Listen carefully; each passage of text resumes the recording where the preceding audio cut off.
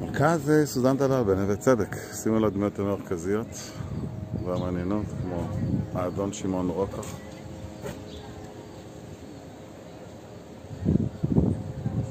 אמזלג, חיים אמזלג שהיה סגן הקונסול הבריטי, זוהר ברנה.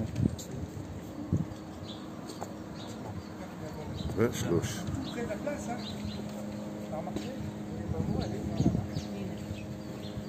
כאן מספר